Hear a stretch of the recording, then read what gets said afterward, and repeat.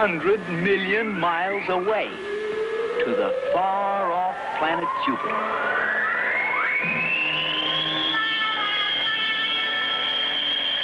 In a Jupiterian television station, he found three friends.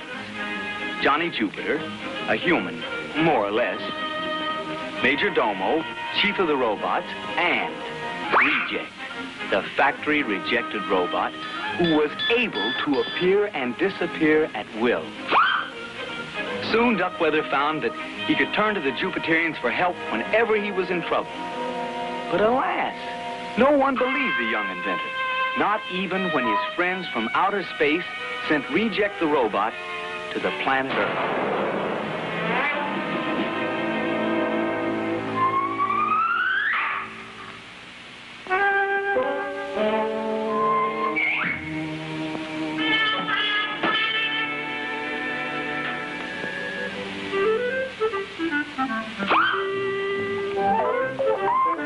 Captain.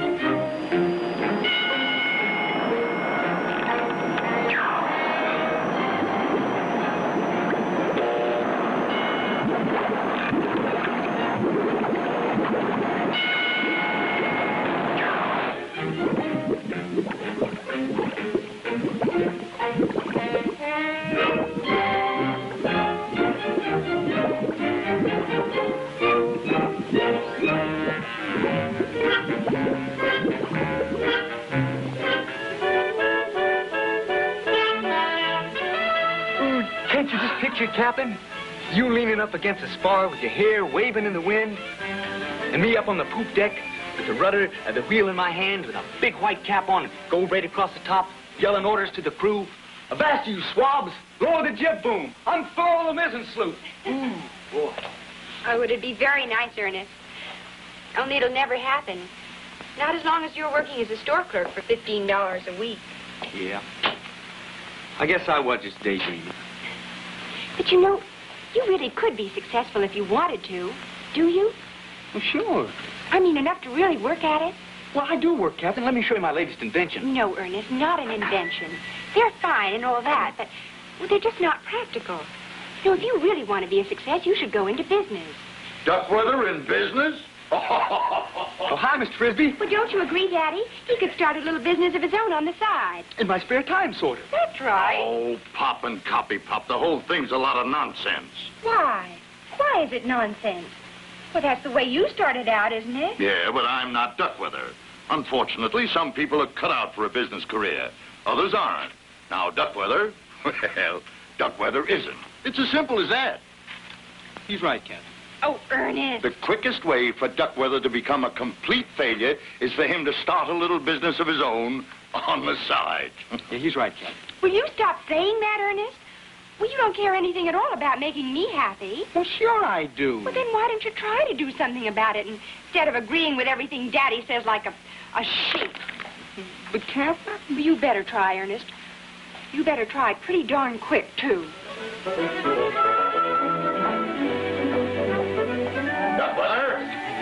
Work to be done. Come on, let's get at it. Yes. Duckweather on Earth, following planet Jupiter. Come on in, planet Jupiter.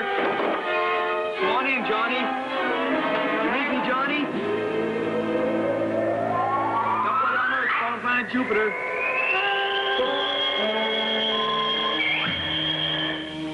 Johnny? Hey, Johnny, where, where are you? I, uh, I came as fast as I could, Mr. Duckweather. We were having a holiday feast in the dining hall when I heard your signal. Oh, gosh, I hope I didn't interrupt your dinner. Good heavens, no. I brought my dinner with me. I just love to eat while I watch television. That's a holiday feast? Of course. A whole bottle full of food tablets. Instead of his usual one a week, Hi, Major Domo. Good to see you. can't stay very long. Gotta get back to the dining hall. Major Domo was our head waiter. A typical robot's job. How many in your party? Step this way. Care to order now? The tips are terrible. Well, what's on your mind, Mr. Duckweather? Uh, well, Captain wants me to start a small business, Johnny, and well, the trouble is, is I don't know what kind of a small business to start. Well, what do you do best? Well, that's just the trouble. I don't do anything best. I'm, well, I'm just a jack of all trades. Don't belittle yourself, Mr. Duckweather. After all, you did build the only television set that can tune in another planet. Yeah, but building television sets is no small business, Johnny. Well, why not repair television sets? Hey. You can do it in your own time. Yeah, and, and right back here in this room. And Katherine will be very happy. Hey, Johnny, that's a wonderful idea. Only, Only what, Mr. Duckweather? well, I don't think I know enough to repair television sets, Johnny. Not really. Oh, don't worry about that. The reject robot is a whiz at fixing television sets. Reject? The best on Jupiter. Whenever you're ready, we'll send Reject down to help. Okay, Johnny, that's a deal. Oh, Major Domo, we've done it. We've put Mr. Duckweather in business for himself.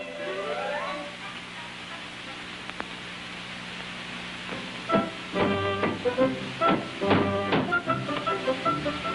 how's the ad look, Captain? Oh, just wonderful, Ernest. Your name looks so distinguished in print. Yeah, Duckweather's TV repairs. Ooh, I, that does sound ambitious. Well, what's wrong with sounding ambitious? Well, I don't know, Captain. Maybe your dad was right. Maybe, maybe I can. Ernest P. Duckweather, don't ever say you can't. Is this Duckweather's television repair shop? Yes, sir. Uh, allow me to introduce myself. My name is Hampshire, Worthington Hampshire. Oh, Mr. Hampshire owns the newspaper that ran your ad, Ernest. Huh? Oh, well, if you came to collect for that ad, sir, I paid for that at the office. Oh, no, no. I'm here to see if you can repair my TV set, young man. You see, I have a lemon. Had it in every repair shop in town, and no one's been able to fix it. Uh, how'd you like to tax it? Well, sir, if uh, nobody else could, I doubt if we could. Oh, Ernest would love to do his best to try to fix your set, Mr. Hampshire. You see, this is very important to me. Tonight's the big fight, you know. Oh, yeah, with Killer McDougal and Rocky the Rocket 9. Are you a fight fan, Mr. Hampshire? Am I a fight? Am I? Uh, uh, just watch this. Up with your dukes. Watch your guard, boy. Now, circle right to counterpunch the left jab. Now, watch that footwork. Now, watch this combination. Watch your footwork. Yeah, I am a bit of a fight there, young lady. They're jumping Jupiter. So now you see why it's so important. I must see this fight tonight. Well, Ernest will do his best to have your set fixed on time, Mr. Hampshire. If he does, if you do that, young man, I'll see you have a full page ad in my paper, absolutely free. Oh, And Ernest! what's more, I personally will see that you have all the work you can take care of here. Now, what do you say? Is it a deal? Is it? Is it? Uh, I mean, yes. Uh, we'll try.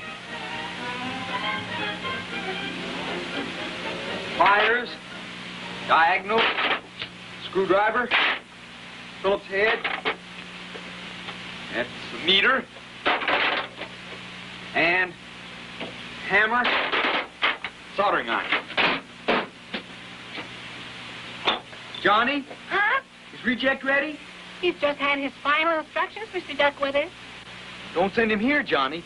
Direct to Mr. Hampshire's house? Direct. And the faster the better. Are you ready for your flight to Earth, Reject?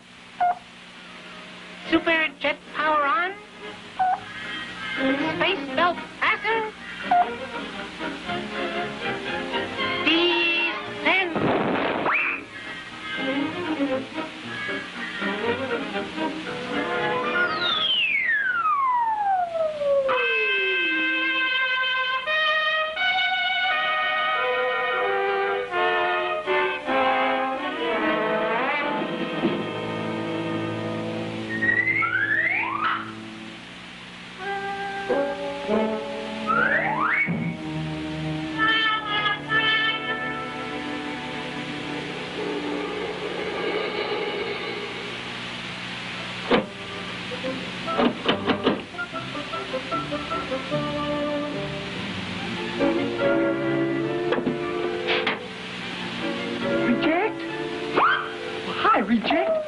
Gosh, I've never been so glad to see anybody in my entire life.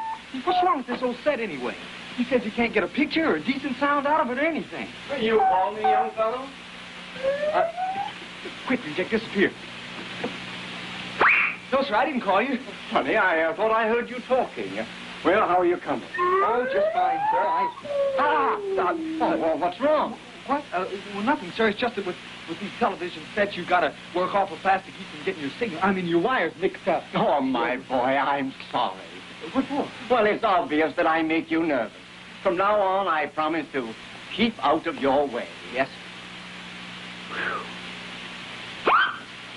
Jack, what's the matter with you anyway? He almost saw those fires. Now what?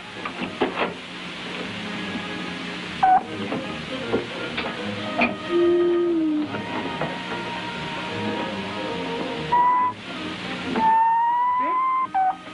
television set's fixed? Are you sure?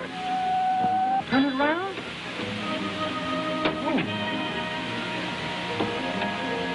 Oh. BJ, look at that picture. Listen to that sound. Oh. Mr. Hampshire. you call me, Duckweather? Quick, disappear, BJ. Yes, sir. You did it! My boy, you're a genius. Why, I let me tell you, the whole town will know about this. The whole blessed town. What's that, Mr. Hampshire? A genius, eh? Oh, well, I knew the boy had talent, of course. I, I always said so. huh? Surefire success, eh? Busiest shop in Clayville before he's finished? Well, I'm glad to hear that, Mr. Hampshire. Coming from a man of your standing, that's uh, an interesting opinion. Goodbye. Hmm. Very interesting indeed. oh, Oh, Duckweather, my boy. Oh, Duckweather, my boy. you look tired, my boy. Here, let me carry that. Here, sit down, my boy, sit down. Feel all right, Mr. Frisby? Feel all right? I never felt better in my life, Duckweather. You know, I've been thinking over this TV repair shop idea of yours. I think it's a splendid idea. But you said... Shows initiative, imagination. The kind of get up and go I admire in a man. But you told Katherine and me. And I want to encourage it as much as I can. Well, thanks. So you see, to make it a complete success, I am willing to place at your disposal all of my business know-how. Now, naturally, I didn't come by this decision lightly, my boy. So if you want to, I will become your partner. Gosh, Mr. Frisby, I don't know what to say. Well, don't say anything, my boy. Just sign this right here, right there. What's this? All the usual partnership agreement. 51% to me as a senior member, 49% to you as junior. and I want to say here and now that I'm proud to be associated with you in this venture. Gosh, just wait till Captain hears about this. Yeah, now I'll, uh, I'll see you later, eh? Partner? Gosh.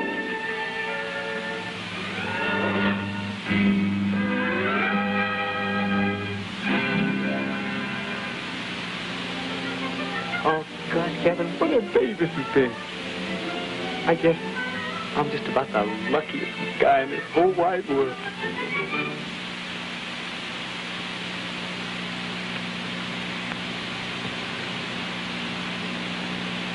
Ernest! Ernest, where are you? Come see what I've done. I've made up some slogans for you, and I had some signs printed. Ernest, where are... Frisby. Ernest P. Duckweather, who changed this sign?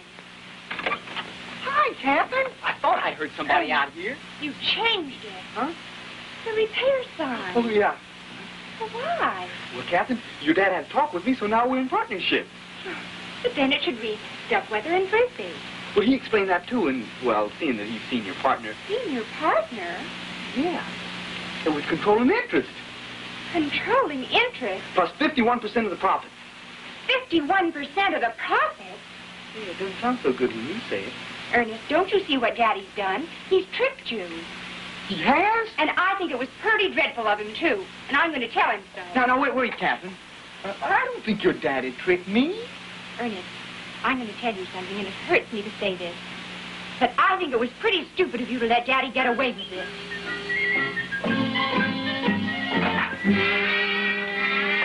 Yeah, I guess I was pretty stupid, Johnny. Oh, don't worry, Mr. Duckweather. The business will be big enough for all of you. Yeah, well, who needed Mr. Frisby anyway? Once word gets out about Mr. Hampshire's unusual TV set, Yeah, and I was doing okay without Mr. Frisby, just rejecting me. next to your set is probably the most unusual in Clayville. Sure, and we did it without Mr. What do you mean unusual? Didn't Reject tell you? Chick didn't tell me a thing. Is there something wrong with Mr. Hampshire's TV set? Oh, good heavens, no. Oh, thank goodness.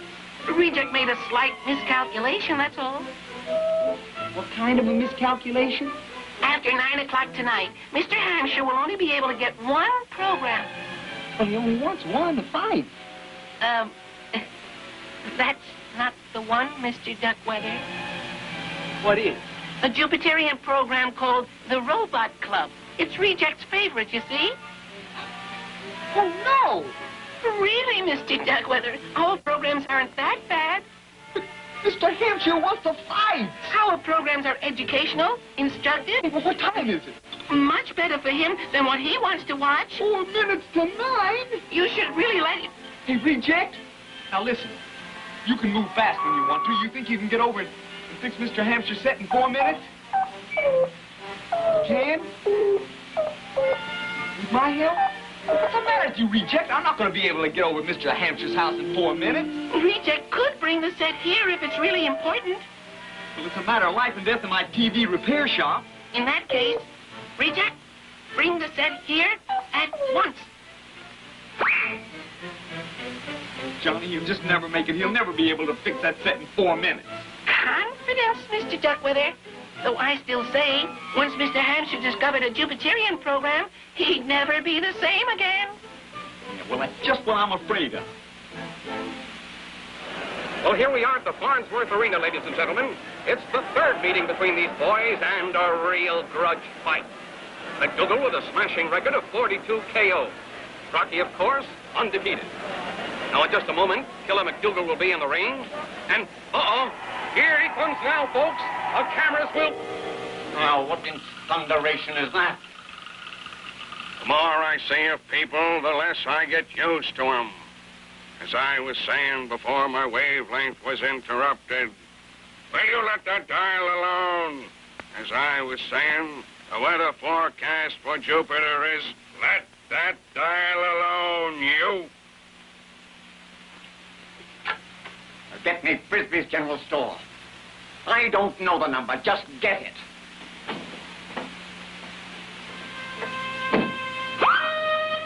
But they must answer. I want to talk to Duckweather. He works there. Well, ring it again. My set. What's happened to my set? Oh, somebody's going to pay dearly for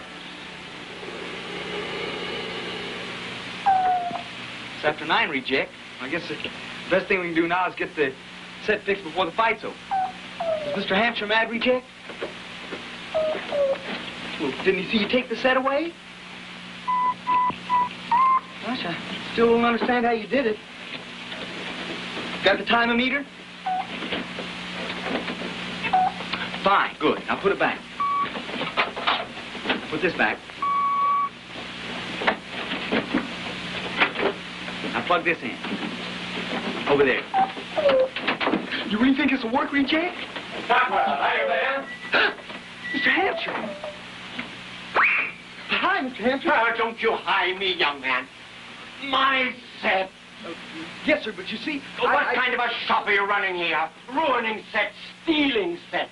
I wasn't stealing it, sir. Gosh, uh, I, I was only trying to fix it up right. Don't you talk back to me, you young... Uh, uh, you're a fraud. I... Uh, I'll expose you for this. I'll run you out of time business. I'll... Uh, Left to right. What a beautiful combination of fight. Eight, nine, ten. It's all over, folks. It's all over, I guess. What a fight! Folks who saw this will be talking about it for years. And thanks to our sponsor, you saw it all. Every exciting blow. Duckweather, you've given me the most exasperating, infuriating, frustrating evening of my entire life. I'm going to pay you for your work, Duckweather. I'm going to pay you and pay you well. Well, well, well, Mr. Hampshire. A frisbee, we're busy. Yes, I can see that. Now, did I hear something about a payment? Mr. Frisby? Daddy, tell Ernest you're sorry. You said you would. Later, my dear, later. Frisby, I suggest you keep out of this. Keep out of it. Why, my dear Mr. Hampshire, anything that concerns this repair shop concerns me. After all, I'm the senior partner here. In other words, you are responsible for everything that goes on here? I am, sir. Now, about this payment. Daddy, you promised. Yes, my dear, and I will keep my promise just as soon as I collect what Duckworth has coming to him. That you will, Frisby. Hmm. Do you mind stepping outside? Outside? Yes, I don't like to settle matters of unfinished business in the presence of young ladies. Oh, I see, yes. My philosophy of business, exactly, sir. Uh, after you, sir. Oh, Mr. Frisby, don't. now, my boy, you'll thank me for this. Just wait and see. Oh, Mr. Frisby.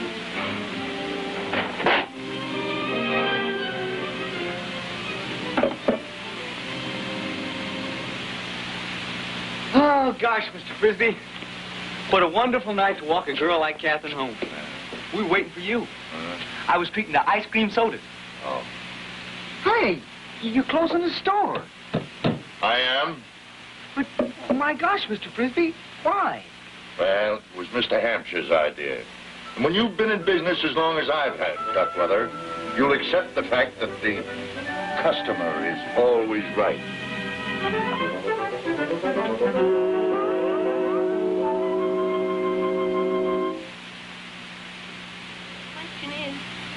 Gentleman's television set work all right now?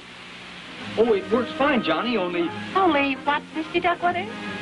well, see, Mr. Hampshire's afraid to use it. What's he afraid of? he's afraid of seeing you, Major Domo. Well. Oh. Just think if he'd seen both of us. Yeah. But I'm sure glad I do, Johnny. So are we, Mr. Duckweather. Good night. Night, Johnny. Cello out, Johnny. Channel J out. Okay. Okay.